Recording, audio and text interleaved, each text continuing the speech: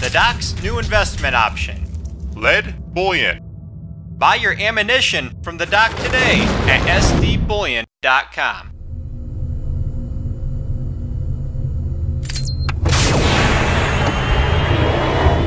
This is the Doc and Eric Dubin with the SD Weekly Metals and Markets.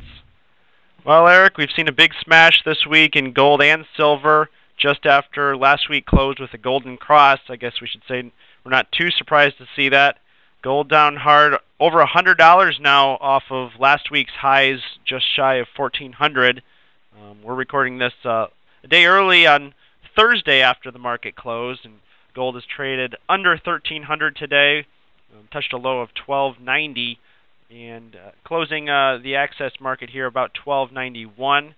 Silver trading uh, really for the past uh, 24 hours back under $20. It hit a low of 19, I think 51 or 52 overnight on Wednesday into Thursday. I guess uh, the point to take is the cartel can read a chart as well as we can, huh, Eric?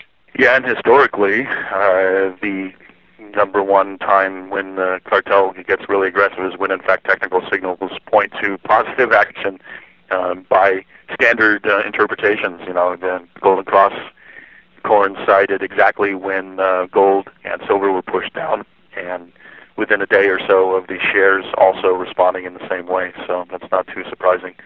We also have uh, yesterday being the last day of trade for the April gold contract, and historically that's one of those days where 85, 95% of the time uh, the cartel will push prices lower so that people who are taking a bullish position have their contracts uh, expire worthless. And it's a wonderful way of dampering expectations when anyone in the paper markets that is bold enough to step up to the plate when momentum is beginning to manifest, which is exactly what we saw from about, uh, if memory serves, around uh, December 16th or so of last year, going through the ups and downs, but in a stair staircase upward movement uh, that we've seen leading up to about two and a half weeks ago or so, uh, where there was quite a bit of momentum, and even the paper traders were beginning to come back into the market and push upwards prices. So, what can you say? You know, there's a lot of things going on that uh, speak to uh, a generally bullish backdrop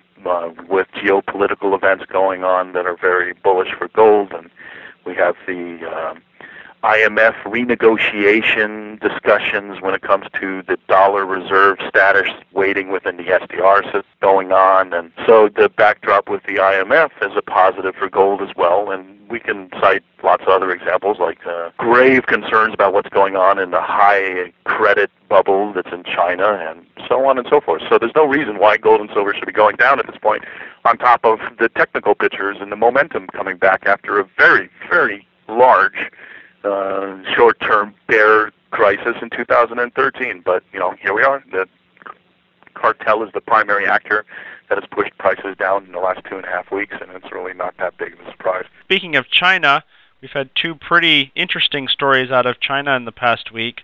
Um, we've had the bank run starting on a lot of the more, a couple of the more rural banks. Um, they're not in Shanghai, but uh, some pretty severe bank runs in China beginning this week. And then the other interesting thing was um, Goldman Sachs came out with a report blaming uh, the gold crash, uh, the 2013 gold and silver crash, on China's hedging of physical gold purchases. And Zero Hedge uh, came out and kind of ran with that story in Goldman Sachs research and published a, a really long essay essentially blaming the 2013 metals takedown on China's hedging of physical purchases. And we published a rebuttal to that, authored by Dave Kranzler, who we've had on the show. He's a precious metals uh, fund manager that pretty succinctly um, disputed that. And I think um, you and I, Eric, are both in agreement that China's hedging of their physical purchases was not the ultimate cause of the 2013 metals crash. Yeah, absolutely. I mean, just the sheer number of contracts that were involved with pushing down to the market greatly exceeds whatever uh, Goldman Sachs would be reporting as uh, China's uh, hedging. You know, it, it, the numbers don't match up. So you have that, and we also have the known fact that about uh, um, 1,000 metric tons of gold were removed from GLD and other ETFs worldwide. as well as COMEX's warehouse uh, having uh, 116 metric tons or maybe even more pulled out, and all of that gold flowed into uh, eager and willing uh, demand for physical, uh, at least 85% of it flowing directly to China.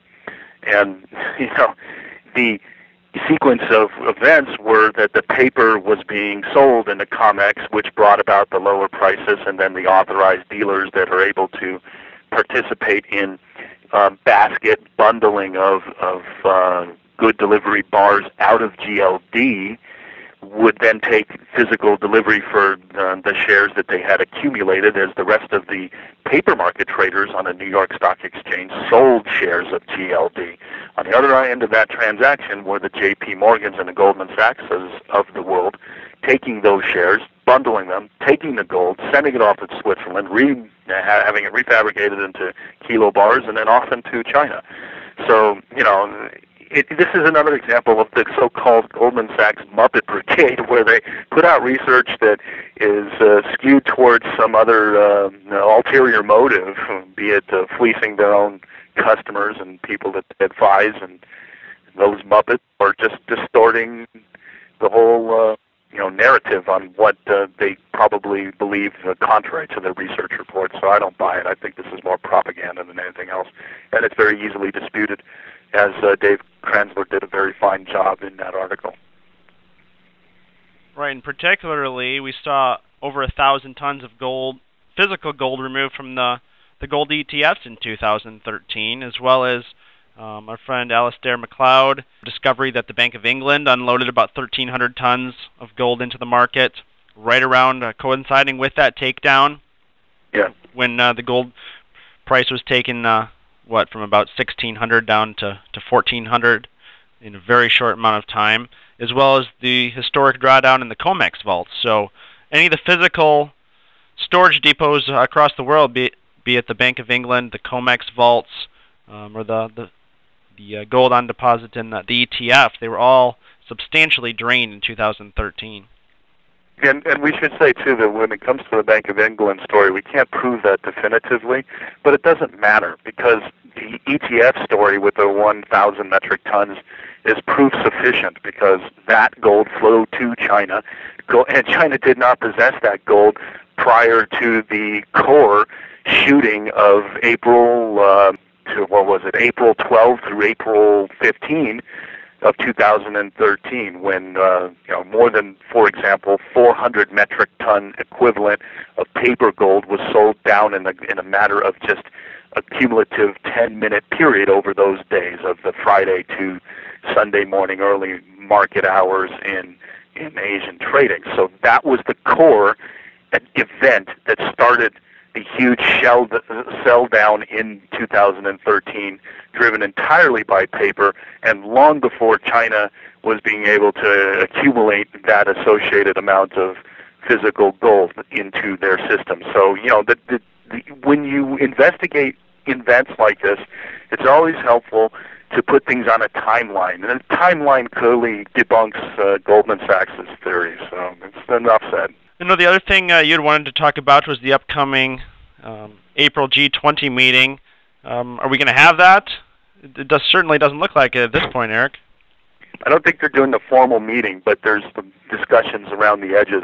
They have lots of meetings uh, throughout the year, and there you know, was back discussions, backroom discussions about the IMF quota and its um, timeline. You know, back in 2010 the Obama administration and the BRIC countries had basically come to an agreement that there would be some kind of renegotiation of the weightings, and I believe the United States has a 17% weighting in the SDR, and um, countries like Spain and other uh, countries in Europe that you know have much smaller economies than many of the BRIC nations have uh, larger quotas. So the idea was to move around the quotas and begin the process of lessening the dollar's role as reserve and trade currency status worldwide and elevating the BRIC countries' status within the IMF system.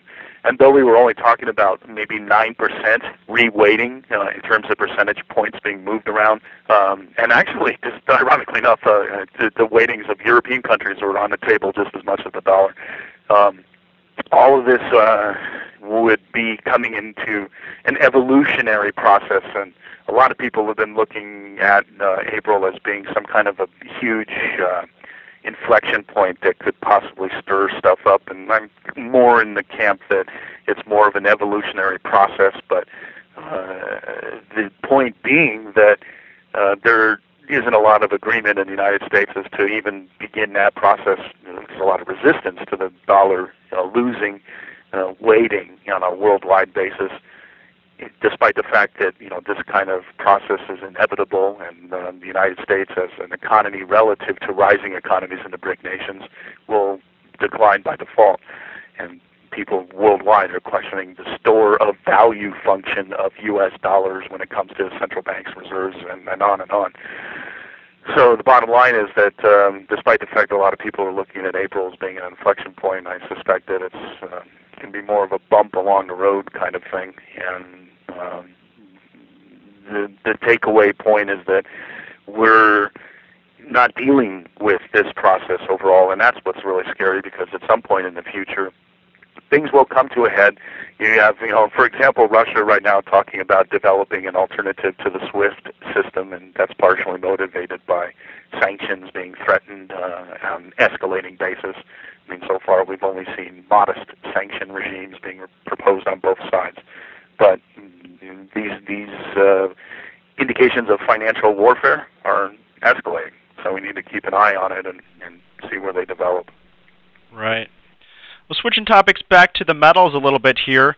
I just wanted to provide the listeners uh, another update on the physical markets. And we've been having a, uh, an interesting development over the last week or two, and we're starting to see shortages of gold for the first time. We've been used to shortage, shortages on silver for the past year or two, but um, the story that's developing, it's uh, about three to four of the authorized primary dealers, author, authorized purchasers directly from the U.S. Mint have um, collectively rebelled against the U.S. Mint and have begun to refuse purchasing any of the the gold eagles, uh, particularly. It started out with the fractional eagles, but they've now even progressed to the one ounce. And then the the reason for this is that uh, the U.S. Mint has, uh, to start the year, for whatever reason, been forcing um, the authorized purchasers to purchase an equal amount of 2012 and 2013 dated coins as well as the 14s. So essentially, if you want to purchase a box of current year gold, the U.S. Mint is forcing um, your company to purchase three boxes of gold. So after collecting a, a pretty large inventory of these back dates and not being able to um, get the supply of currents to meet demand, several of um, the authorized purchasers have all kind of collectively rebelled and um, halted purchases of any U.S. gold coin, and we're beginning to see a, a shortage in the wholesale market, um, particularly in the fractional coins, but even um, late last week started developing in the one ounce gold eagles that uh, the authorized purchasers and the wholesalers did not have any current year gold eagles available. They they still had quite a few of those backdated, but as far as the current year, none were available. So um, definitely an interesting um, development and shift to have a little bit of a shortage in the retail gold developing versus silver, which has become almost uh, um, a normal occurrence over the last couple of years. It's hard to read what exactly is going on, particularly since they're talking about 2012 inventory too hanging around. I mean, what happened? Why was it that they had this uh, for such a long period of time? And uh, you know, they do have that window of time when they shift to an ongoing or to a new year and make available the new annual production.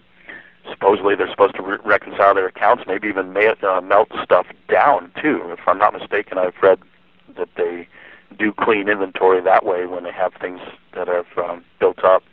So it's, it's it's a strange situation. I'm not exactly sure what we can draw from it. The other story that uh, just developing here on Thursday afternoon um, again, we're recording the show a day early this week.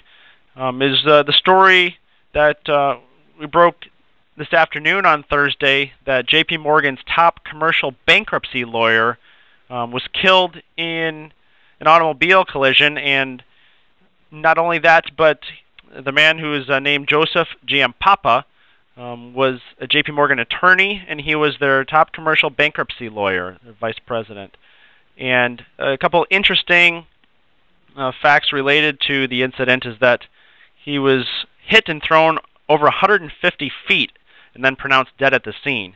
And we, Eric and I were chatting a little bit before the show, and if uh, if you strike someone with a, a vehicle and uh, the person is thrown 150 feet, you certainly are not decelerating your car and hitting the brakes. So we don't have too many more details than that, other than the fact that um, this occurred last Saturday, um, which would have been March 22nd, um, and it was in a somewhat rural location in Ohio. JP Morgan does have uh, some headquarters in Columbus, and it wasn't uh, too far away um, from there. But interesting that uh, an Ohio JP Morgan top lawyer has been killed in uh, an incident uh, involving a minivan uh, striking him and throwing him over 150 feet. So it just adds to the the intrigue and the saga in the string of um, dead bankers, and particularly it seems to be a high proportionate number of them uh, J.P. Morgan bankers. Yeah, we should probably make as a general call out to the audience if anybody's ever seen any kind of statistical work historically about you know in in wake of all these goofy, strange situations with bankers offing themselves or finding themselves at the hand of an unfortunate accident. I'd be really curious to know, know, what are the numbers that are typically associated with bankers committing suicide in any given year? I haven't been able to find any studies like that. I've looked around for them. I have no idea where to go to actually find, uh, you know, raw ta- data that tabulates that. Cause I doubt there's anything like that in the granularity reported by FD, FBI statistics or, you know, something similar, for example.